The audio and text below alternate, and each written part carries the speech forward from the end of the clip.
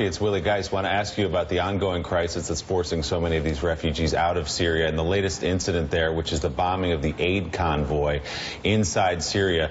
Ben Rhodes, President Obama's deputy national security advisor, said in very plain English yesterday that Russia was behind the bombing. Do you agree with his assessment?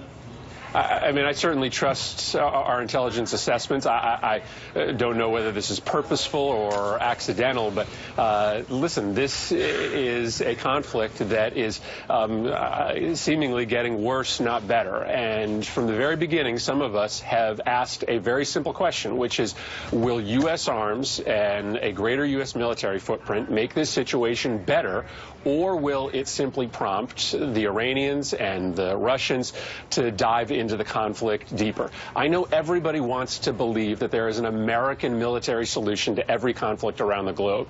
In Syria, it may be that a greater U.S. military footprint there is simply drawing more and more weapons and armies and interest from other outside players. And I think it's time for us to step back and reassess uh, our military strategy in Syria.